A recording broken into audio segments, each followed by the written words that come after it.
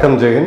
இன்னைக்கு நம்ம சேனலில் ஒரு முக்கியமான ஜியோ பொலிட்டிக்கல் அப்டேட் பார்க்க போகிறோம் இஸ்ரேல் ஹமாஸ் பிரச்சனை போயிட்டுருக்கிறது. தொடர்ந்து பார்த்தோம். கிட்டத்தட்ட நாற்பதாயிரம் பேருக்கும் அதிகமான கேஷுவல்டிஸ் ஹமா இவங்களுடைய பாலஸ்தீன் தரப்புலேருந்து.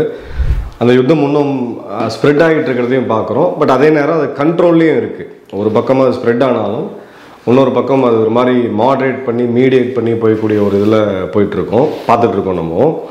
இப்போது சைனா ஒரு மிக முக்கியமான மூவை பண்ணியிருக்காங்க. நம்ம போன வருஷமே பார்த்தோம். அந்த இடத்துல ஒரு தன்னை ஒரு அமெரிக்காவுடைய ஒரு ஆல்டர்னேட்டிவாக சைனா காமிக்கிறதுக்கு பல முயற்சிகள் எடுத்தாங்க. ஹமாஸ் அவங்க கண்டிக்கவே கிடையாது. அந்த சம்பவம் அக்டோபர் ஏழு நடந்த பிறகு உலக நாடுகள் எல்லாம் பார்த்தீங்கன்னா ஹமாஸை கடுமையாக கண்டிச்சாங்க. அதன் பிறகு இஸ்ரேலோட தாக்குதலையும் கண்டிச்சாங்க. இந்தியா ஹமாஸை முதல்ல வந்து கண்டிச்சாங்க. அந்த தா தீவிரவாத தாக்குதலை வந்து கண்டிச்சாங்க. ஏன்னா அதில் நம்ம மாற்று கருத்தை வைக்க முடியாது. பட் அந்த டூ நேஷன் தெரி பாலஸ்தீன் ஒரு தனி நாடாக இருக்கணும் இஸ்ரேல் ஒரு தனி நாடாக இருக்கணுன்றதையும் இந்தியா வலியுறுத்திக்கிட்டே வந்துச்சு நம்ம பார்த்தோம். ஹமாஸ்க்கு கண்ட்ரோல் இருக்கக்கூடிய காசாவில் அங்கே தான் மக்கள் முதல்ல அதிகமாக பாதிக்கப்பட்டாங்க. ஸோ காசாவில் இருக்கக்கூடிய அந்த மக்களுக்கு உண்டான நிவாரண உதவிகளையும் இந்தியா கிட்டத்தட்ட மூணு மடங்கு அதிகமாக்கி கொடுத்ததையும் பார்த்தோம். ஸோ இந்த நேரத்தில் சைனா என்ன பண்ணாங்கன்னா ஒரு அவங்களோட டிப்ளமேட்டிக் என்வாய்ஸ்லாம் அனுப்பிச்சு வச்சு அரேபிய நாடுகள் எல்லாரையும் கூப்பிட்டு ஒரு ஒற்றுமை ஒரு அமைதிக்காக ஒரு ம- ஒரு கூட்டம் ஒன்று போடுவோம் அப்படின்னாங்க. அது நடக்கவே இல்லை. சடனாக பார்த்தீங்கன்னா ஈரானுக்கும் சவுதிக்கும் ஒரு ஒப்பந்தத்தை போட்டு அதை நடுவில் இவங்க நின்று கை கொடுத்த அந்த காட்சிகள்லாம் நம்ம பார்த்தோம். அமெரிக்காவோட இன்ஃப்ளூயன்ஸ் ஆதிக்கத்தை வந்து வளைகுடால குறைக்கிறாங்களா அப்படின்ற அளவுக்கு அந்த பேச்செல்லாம் போச்சு. இப்போ என்ன பண்ணியிருக்காங்க அப்படின்னு பார்த்தீங்கன்னா சைனாவோட தலைநகரான பீஜிங்கில் இந்த பாலஸ்தீனோடைய ஆக்சுவலாக என்ன நினச்சிட்டு இருக்கோம் அப்படின்னா பாலஸ்தீன் தான் ஹமாஸ் அப்படின்னு நினச்சிட்டு இருக்கோம் அது கிடையாது. பாலஸ்தீனுக்குள்ள ஒரு பக்கம் இப்போ நீங்கள் மேப்பில் மேப்பில் பார்க்கக்கூடிய காசா ஒரு சின்ன ஸ்ட்ரிப் மாதிரி இருக்கும். இன்னொரு பக்கம் பார்த்தீங்கன்னா மேற்கு பக்கமாக இருக்கக்கூடிய வெஸ்ட் பேங்க். இது ரெண்டும் தனித்தனி ரீஜன் இது எல்லாமே ஆயிரத்தி தொள்ளாயிரத்தி தொண்ணூற்றி மூணில் ஆஸ்லோ அக்கார்டு அப்படின்ற ஒரு அக்கார்டு வந்து சைன் பண்ணாங்க. தொண்ணூற்றி மூணில் யாசர் அரஃபத் அவர்கள் டைமில் இருக்கும் பொழுது பிஎல்ஓ அப்படின்னு சொல்லக்கூடிய பாலஸ்தீன் லிபரேஷன் ஆர்கனைசேஷன் அப்படின்றது பல க- அமைப்புகள் கட்சிகளோட ஒரு கூட்டணி அது. ஒரு கோயிலேஷன் பிஎல்ஓ அப்படின்றது அவர் யாசர் அரஃபத் லீட் பண்ணாலுமே அதில் பல ஃபேக்ஷன்ஸ் இருக்குது ஸோ அவங்க ஆஸ்லோ அக்ரிமெண்ட்டில் ஆயிரத்தி தொள்ளாயிரத்தி தொண்ணூற்றி மூணில் இவங்களோட இஸ்ரேலோட அக்ரிமெண்ட் போட்டு பாலஸ்தீனை நாங்கள் பார்த்துக்குறோம் கவர்னன்ஸில் நீங்கள் தலையிடக்கூடாது. அது எங்களோட மாநிலம் நாங்கள் வந்து ஆண்டுக்குவோம். நாடு அப்படின்ற மாதிரி ஒரு இதை கொண்டு வந்தாங்க. இப்போது ஹமாஸோட ரைஸ் வருது. ஹமாஸோடைய உருவான பின்னணியிலே இஸ்ரேல் இருக்குன்றது நிறைய பேருக்கு தெரியாது. ஸோ ஹமாஸ் ரைஸுக்கு அப்புறம் பார்த்தீங்கன்னா ரெண்டாயிரத்தி ஏழில் ஒரு தேர்தல் வருது. ஆறு ஏழில் ஒரு தேர்தல் வருது. அப்போ காசாவில் பெரும்பான்மையாக ஹமாஸ் ஜெயிக்கிறாங்க. ஹமாஸ் ஜெயிச்ச பிறகு இது ஒரு தனி அரசாங்கமாகவே மாற்றிட்டாங்க இவங்க இந்த வெஸ்ட் பேங்கை வச்சு வச்சு ஆளக்கூடிய பிஏ அப்படின்னு சொல்லக்கூடிய பாலஸ்தீன் அத்தாரிட்டி. இப்போ இந்தியாவோ அமெரிக்காவோ சீனாவோ யாராவது பாலஸ்தீன் நாட்டுக்கிட்ட பேசணும்னா பிஏ கிட்ட தான் பேசுவாங்க. பாலஸ்தீன் அத்தாரிட்டி கிட்ட தான் பேசுவாங்க. பட் இவங்க காசாவை ஒரு தனி நாடாகவே க- இது பண்ணி அங்கே இவங்கெல்லாம் விடாமல்லாம் போன பண்ண கதைலாம் நிறையா நடந்துச்சு.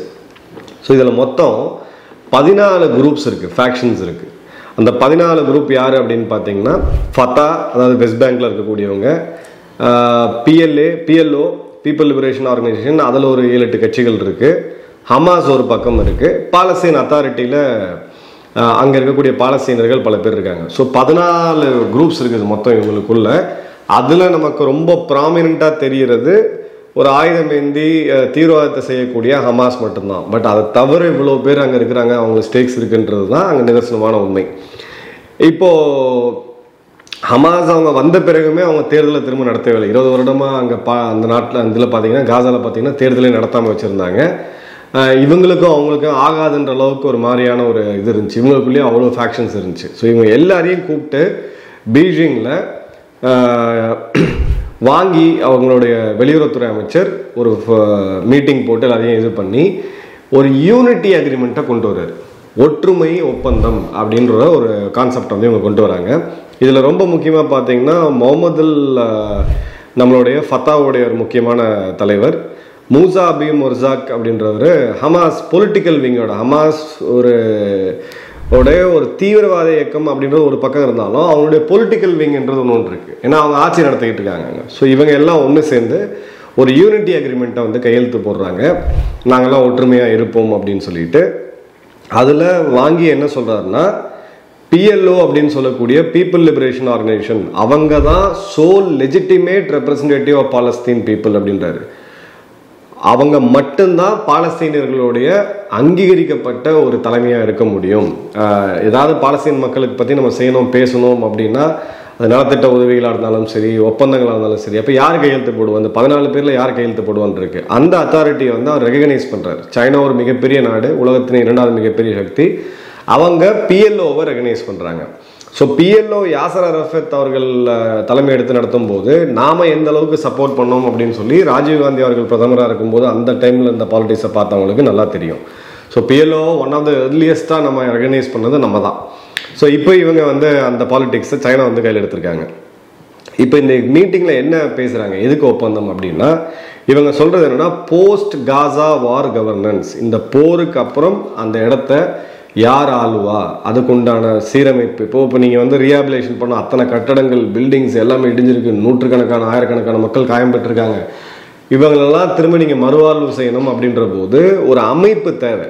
இப்போ நீங்களே போய் ஏதாவது நம்ம உதவிகள் செய்கிறோம் அந்த நாட்டுக்கு அப்படின்னா யார்கிட்ட கொடுப்போம் அப்படின்ற ஒரு மிகப்பெரிய கேள்வி இருக்குது ஸோ அந்த இடத்துல போஸ்ட் வார் காசா கவர்னன்ஸை யார் இதை கவர்ன் பண்ணுவாங்க?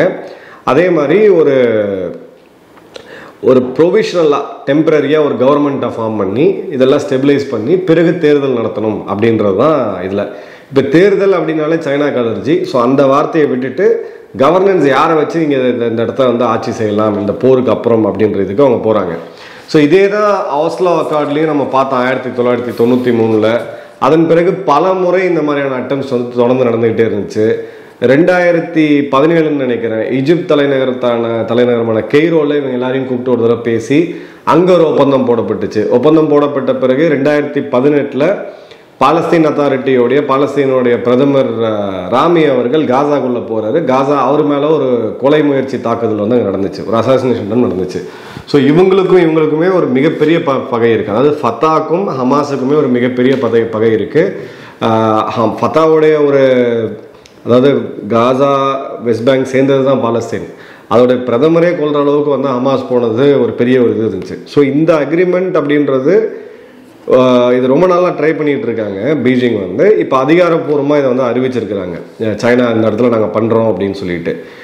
இப்போ இந்த இடத்துல சீனா என்ன பண்ணுது அப்படின்னு நீங்கள் நல்லா ஒத்து பார்த்தீங்கன்னா ஒரு ஸ்பேஸ் நமக்குன்னு இருக்குது அப்படின்றத அவங்க பார்க்குறாங்க இப்போ மிடில் ஈஸ்ட்டை யார் டாமினேட் பண்ணாங்க? அதாவது மிடில் ஈஸ்ட்ன்றது அவங்க பார்வையில் நம்ம பொறுத்த வரைக்கும் அது ஒரு வெஸ்ட் ஏஷியா தான். ஸோ வெஸ்ட் ஏஷியாவை யார் டாம் டாமினேட் பண்ணாங்க அப்படின்னு பார்த்தீங்கன்னா கடந்த நூறு வருடங்களில் அமெரிக்கா தான் அதிக அளவுக்கான டாமினேஷன் கூடவே அவங்களோட நாட்டோ நாடுகள் இவங்களோட டாமினேஷன் தான் அதிகமாக இருந்துச்சு. இப்போ அமெரிக்கா கிளியர் கட்டாக ஒரு இஸ்ரேல் ஸ்டாண்ட் எடுத்துட்டாங்க. அவங்க வேணுமோ வேணாமோ அதெல்லாம் வேற விஷயம். அவங்களுக்கு டொமஸ்டிக் பொலிட்டிக்கல் கம்பல்ஷன் இருக்குது அவங்க எடுத்துட்டாங்க. ஐரோப்பிய நாடுகள் பார்த்தீங்கன்னா ஹமாஸ் எதிர்ப்பு நிலையை எடுத்து இஸ்ரேல் நெத்தன்யாவு எதிர்ப்பு நிலையை எடுத்து. பாலிடிக்ஸ் அப்படியே ரொம்ப நல்லா கவனிச்சிங்கன்னா உங்களுக்கு புரியும். ஹமாஸை நாங்கள் எதிர்க்கிறோம் அதை கண்டிக்கிறோம். ஆனால் நெத்தன்யாவை வந்து ஒரு வார் கிரிமினல் ஒரு போர் குற்றவாளி அப்படின்ற மாதிரி ஒரு ஸ்டாண்ட் எடுத்துட்டு அவங்க அவங்களுடைய ரீஜனலுக்கு என்ன தேவையோ அந்த மாதிரியான பாலிடிக்ஸ் வந்து யூரோப்பில் பல நாடுகள் வந்து இப்போ பண்ணிகிட்டு இருக்காங்க. இப்போ சைனா எங்கே எடுக்கிறாங்க பார்த்தீங்கன்னா நாங்கள் வந்து இதுதான் சொல்லிட்டு இருக்கோம். நீங்கள் அமெரிக்காவோட இதெல்லாம் கேட்டுட்டு இருந்தீங்கன்னா நீங்கள் இப்படி தான் இருப்பீங்க. இந்த இடத்துல அமைதிக்கு உண்டான வேலையை நம்ம பார்ப்போம் அப்படின்னு சொல்லி சைனா வந்து தங்களுடைய பெட்டை உள்ளே போடுறாங்க. அது என்னன்னு பார்த்தீங்கன்னா ஜிஎஸ்ஐ குளோபல் செக்யூரிட்டி இனிஷியேட்டிவ் இந்த குளோபல் செக்யூரிட்டி இனிஷியேட்டிவ் அப்படின்றது என்ன அப்படின்னா நான் சொல்கிறத கேட்டு நீங்கள் நடந்துக்குங்க. எங்கிட்ட மிகப்பெரிய ராணுவம் இருக்கு எல்லாம் இருக்கு. நான் உங்களோட இதை வந்து நான் பார்த்துக்கிறேன். இதெல்லாம் வேண்டாம் நான் உங்களுக்கு ரோடு கட்டுறேன் உங்களோட இதெல்லாம் பண்ணுறேன் எங்களுக்கு ஒரு மிலிட்ரி பேஸை கொடுங்க. ஆனால் எங்களை எதிர்த்தெல்லாம் நீங்கள் எதுவும் பண்ணக்கூடாது. இப்போ ஒரு பேரரசு அது கீழே நீங்கள் சிற்றரசாக இருந்துக்குங்க. அதுதான் வந்து சீனாவுடைய ஜிஎஸ்ஐயோட சிம்பிள் அண்டர்ஸ்டாண்டிங் ஜிஎஸ்ஐயை உருவாக்குனது யார் அப்படின்னா ஷீ ஜின்பிங் எதை பேஸ் பண்ணி இவங்க உருவாக்குறாங்கன்னா இவங்க ஆயிரம் வருஷம் பின்னாடி போயிடுறாங்க. அந்த ஆர்ட் ஆஃப் வார் சூன்சூலாம் பார்த்தீங்கன்னா இருக்கும். நாங்கள் வந்து மிடில் கிங்டம் நடுவில் உலகத்தோட நடுவில் நாங்கள் இருக்கோம். நாங்கள் தான் வந்து மிகப்பெரிய ஒரு எம்பரர் பேரரசு. இந்த சின்ன சின்ன நாடுங்களாம் நீங்கள் எடுத்துகிட்டு போங்கப்பா. உங்களுக்கு உண்டான வட்டி எங்களுக்கு கொடுங்க. நாங்கள் சொல்கிறத நீங்கள் கேட்கணும் அப்படின்ற மாதிரியான ஒரு மென்டாலிட்டியில் மிடில் ஈஸ்ட்டுக்கு ஒரு உலகத்துக்கு இதை ஓப்பனாக சொல்ல முடியாது. அது ஒரு ஃபேன்சியான ஒரு டேர்ம் தேவைப்படுது. ஸோ குளோபல் செக்யூரிட்டி இனிஷியேட்டிவ் அப்படின்னு சொல்லி உலகத்துக்கான பாதுகாப்புக்கான ஒரு துவக்கம் இது அப்படின்ற மாதிரி ஒரு இதை கொண்டு வராங்க.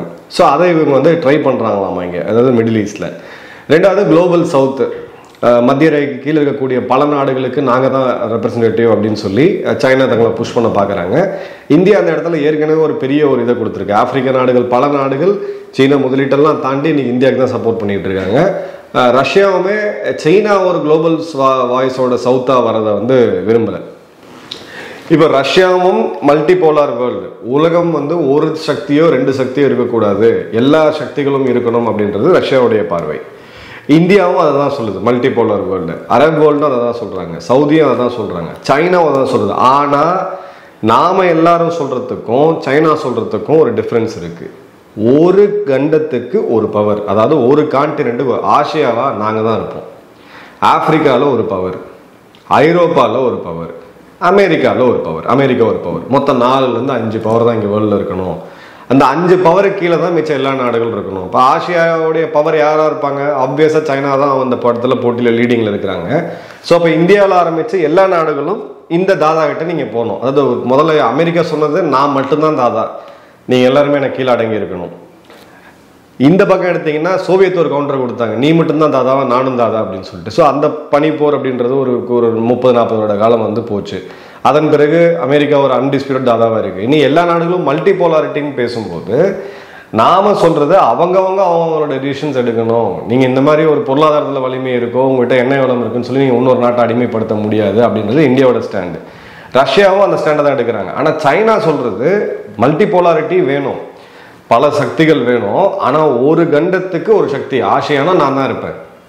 அமெரிக்கா நீ ஒரு பக்கம் இருந்துட்டு போ. ஐரோப்பாவுக்கு ஒரு ஒரு தலை அது பக்கம் எடுத்தீங்கன்னா ஒன்று மிடில் ஈஸ்டில் ஒன்று இந்த மாதிரி ஒரு பாலிடிக்ஸ் தான் சைனா பார்த்துட்டு இருக்காங்க. ஸோ அதற்கு உண்டான ஒரு இதுதான் வந்து இப்போ இவங்களுடைய இது. மிடில் ஈஸ்டில் நாங்கள் வந்து ஒரு ஹெவி வெயிட் நாங்கள் வந்து உங்களுக்கு வந்து ஹெல்ப் பண்ணுறோம் அப்படின்றதுக்கான ஒரு ஸ்ட்ராட்டஜிக்காக இவங்க வந்து ஒரு ரோல் ப்ளே பண்ணுறாங்க ரெண்டாவது இதை ஏன் இவங்க வந்து கையில் எடுக்கிறாங்க? ஹமாஸ்ட்டை கூப்பிட்டு ஏன் இதை வந்து இவ்வளோ மெனக்கெட்டு பண்ணுறாங்கன்னா இது ஒரு ஆப்பர்ச்சுனிட்டி மட்டும் கிடையாது. நான் திரும்ப திரும்ப சொல்ல வரக்கூடிய ஒரே விஷயம் அமெரிக்கா இந்த போரை எப்படியாவது சீக்கிரம் முடிக்கணும் அப்படின்னு பார்க்குறாங்க. ட்ரம்ப் அவர்கள் ஒரு வேளை ஜெயிச்சு வந்தால் உக்ரா உக்ரைன் ரஷ்யா போரும் வந்து சீக்கிரம் முடிஞ்சிடும் இந்த இடத்துல இருக்கக்கூடிய நெத்தனியாவுக்கு கிடைக்கக்கூடிய சப்போர்ட்டுமே வந்து சீக்கிரம் முடிஞ்சிடும் நீ முடிச்சிட்ட நீ சண்டையை போட்ட எக்ஸிட் பண்ணிட்டு வெளில வா அப்படின்ற தோணியில் தான் இப்போ அவங்க பேசிக்கிட்டு இருக்கிறாங்க. ஸோ இப்போ இந்த இடத்துல இந்த இடத்துல விட்டு எக்ஸிட் ஆகி வெளியில் வரும்போது அமெரிக்காவுடைய முழு கவனமும் சீனாவை சுற்றி தான் இருக்கும்.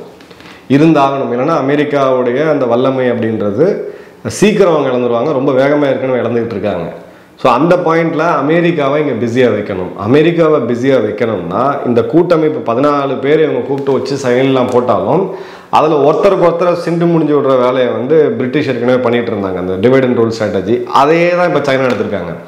நாளைக்கு இந்த போர் முடிவுக்கு வரக்கூடிய சூழ்நிலை வந்ததுன்னா அமெரிக்காவுடைய தன்னுடைய மிலிட்ரி ப்ரெசன்ஸ் எல்லாமே இந்த பக்கம் வரும். அதாவது இந்திய இந்து மகாசமுத்திரத்தில் தென்சீன கடல் பகுதிகளில் வரும். அதை சைனா தடுக்கிறோம் அப்படின்னா இந்த இடத்துல போரை கண்டினியூ பண்ணி ஆகணும். இல்லை ஏதாவது ஒரு அமெரிக்கா அங்கே பிஸியாக வைக்கிறதுக்கான வேலையை வந்து பண்ணணும். அதற்குண்டான இதை தான் இப்போ இவங்க பண்ணிகிட்டு இருக்காங்க. இப்போது இஸ்ரேல் எடுத்தீங்க அப்படின்னா அவங்களும் கொஞ்சம் இப்போது அவங்களோட பார்டர் தாண்டி எமேன் எங்கேயோ இருக்குது. ஒரு நாலாயிரம் kilometre almost up and down நீங்கள் வந்து பார்த்தீங்கன்னா எமன் நாட்டு மேலே ஒரு தாக்குதல் நடத்திருக்கிறாங்க இரண்டு நாடுகளை தாண்டி தான் அந்த நாட்டுக்கிட்ட போனோம். ஒரு சாதாரண ஒரு ஏர்ஃபோர்ஸ் ஆப்ரேஷன் கிடையாது. அதையும் அவங்க பண்ணும்போது இஸ்ரேலையும் இப்போ கட்டுப்படுத்த வேண்டிய கட்டாயத்தில் இன்னைக்கு அங்கே இருக்கக்கூடிய எல்லா நாடுகளுமே இருக்கிறாங்க. ஸோ இந்த இடத்துல தன்னோட கண்ட்ரோலில் இந்த பாலஸ்தீன் சைடு இருந்துச்சுன்னா இஸ்ரேல்கிட்ட பேசுகிறதுக்கும் சரி அமெரிக்காட்ட பேசுகிறதுக்கும் சரி சைனாவுக்கு வந்து ஒரு மிகப்பெரிய வாய்ப்பு கிடைக்கும்.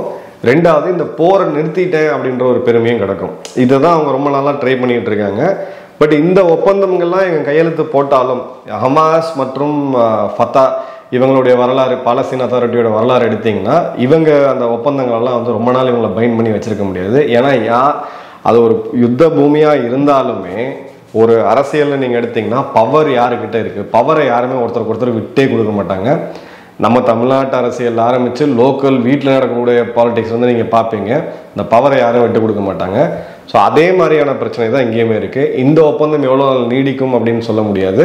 பட் சைனாவுடைய டெஸ்பிரேஷன் இதில் ரொம்ப கிளியராகவே தெரியுது அப்படின்றத பார்ப்போம். நன்றி வணக்கம் ஜெயந்த்